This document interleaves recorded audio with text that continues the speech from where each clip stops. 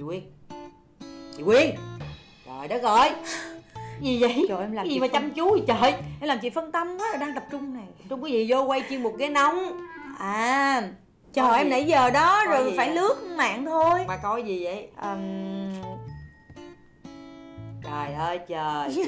Ghê cũng theo dõi cập nhật thông tin ghê gớm ha. Cũng có vụ trà sữa đó chứ gì. Ừ. Thôi bây giờ chị em mình không có quảng cáo cho trà sữa. Nhưng mà cái việc trà sữa đó là cái chuyện động trời luôn à, thôi mình hỏi mình bàn chuyện nghệ thuật chút xíu đi. Bữa giờ sân khấu 5B đông khách không? Ờ, cũng được. Cũng được.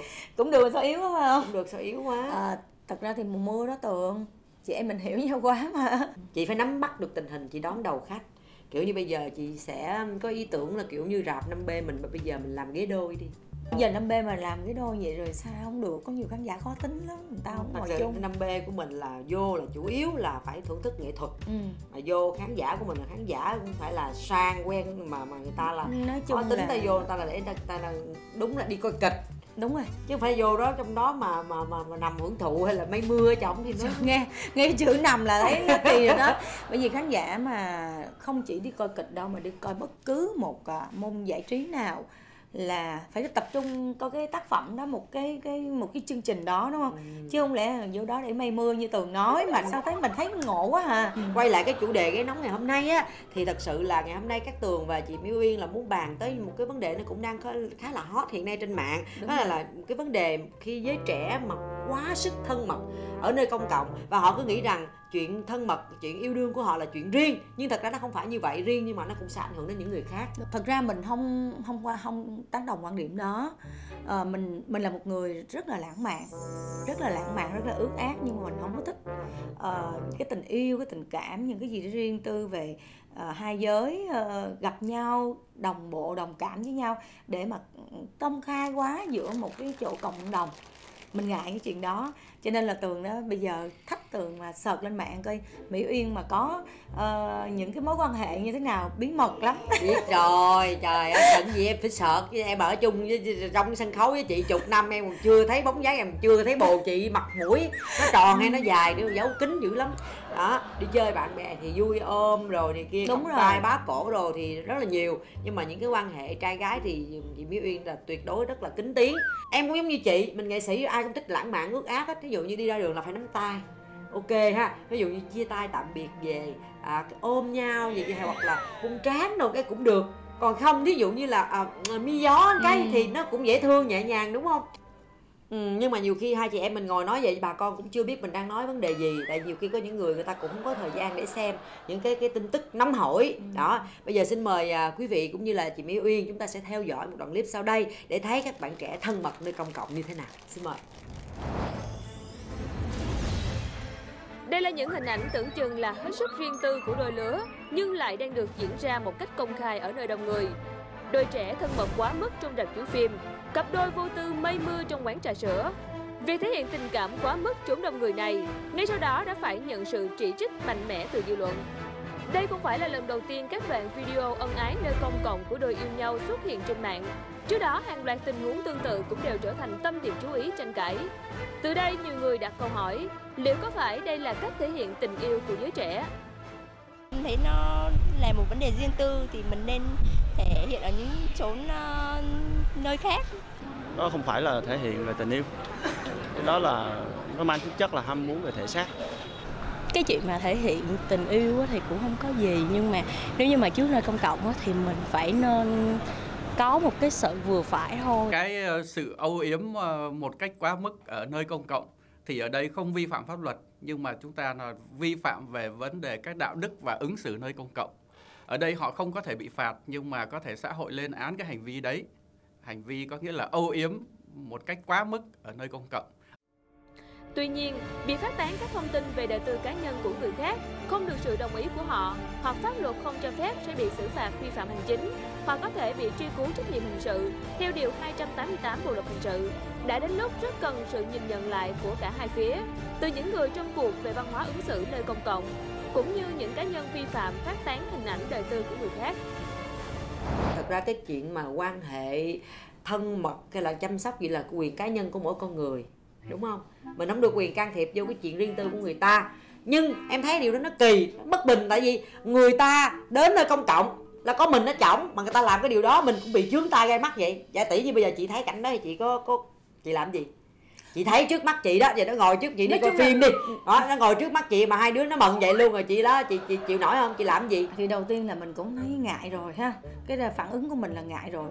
Nhưng mà để coi diễn biến nó kéo dài như thế nào thì mình không thể nào đợi lâu. Rồi bây giờ nó vậy nó kéo dài luôn rồi chị làm gì? Thì tất nhiên là mình thấy cái đó là ừ, chắc là Trái mình đi, khuấy rồi đó. thì mình đi ra thôi chứ. Không mình nghĩ là ờ, với một cái người mà nghiêm túc và khó tính như mình á thì mình sẽ ra mình báo ca báo lại với, à, với, ra báo với quản lý. ra báo thôi chứ À. bản thân chị chị cũng đâu dám chen vô Không. chuyện đó đúng Ừ, không? nhưng mà mình lại tự nhiên mình lại mình đã tránh rồi tránh cái ánh ờ, mình nhìn rồi. mắc cỡ. Ờ mắc cỡ quá.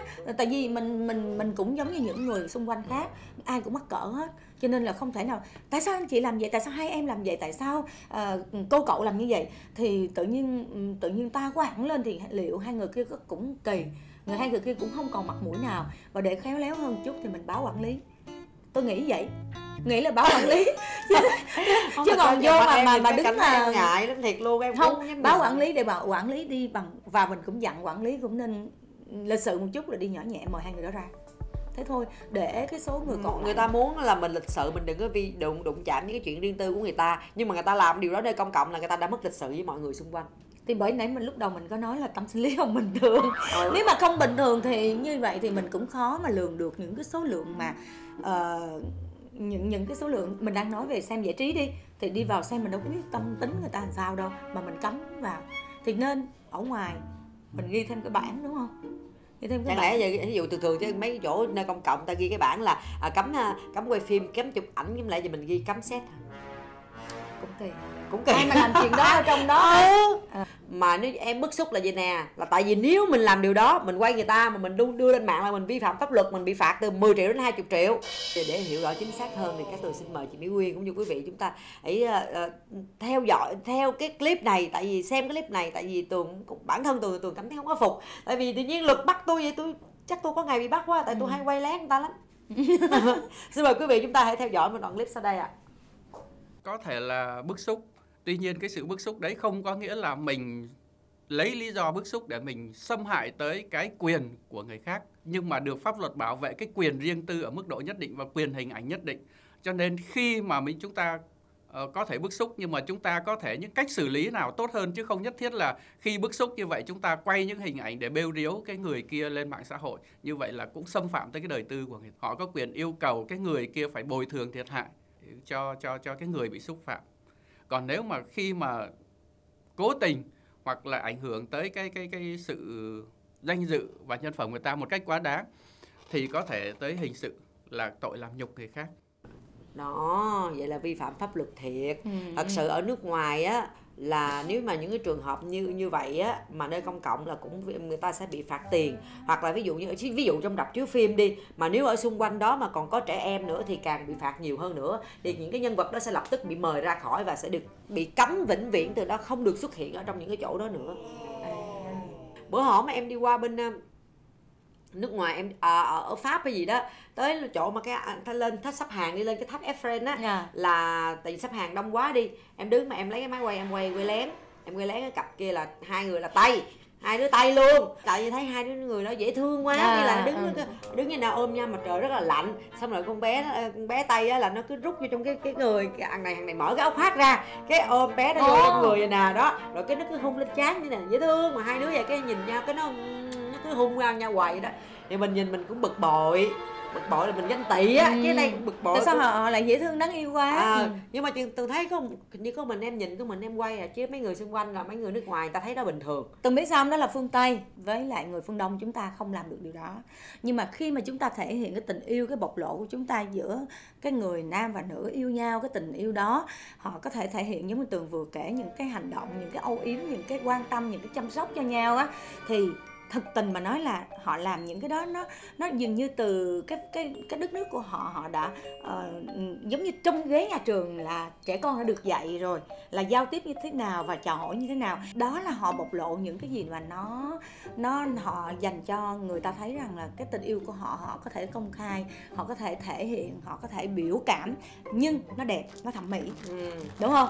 Còn Chứ mấy còn- cái vụ trà sữa này của mình là ghê quá quá ghê nhưng mà bây giờ nguy hiểm lắm nha quý vị tại vì tất cả những nơi công cộng đều Đều có camera, camera. hết. Chính mà xác. đừng nói tới camera công cộng giờ camera có thể thấy mờ mờ đi. Ừ, nhưng mà xung quanh chúng ta mọi người bây giờ ai cũng có điện thoại. Đúng rồi ai cũng có smartphone ai cũng có chỉ cần mà họ chướng tay gai mắt hoặc họ thấy họ giống như là thái máy như các tường á thấy là giơ máy quay lên quay liền. Như vậy là mọi người cũng đã thấy rõ quan điểm của các tường và mỹ uyên ngày hôm nay rồi. Chị em chúng tôi cũng rất là đồng cảm và hy vọng rằng sau clip ngày hôm nay thì tất cả mọi người đặc biệt là các bạn trẻ cũng sẽ xem và cũng sẽ có những cái suy nghĩ và cũng có sự đồng cảm giống như vậy để giữ cái môi trường công cộng luôn xanh và sạch và đẹp.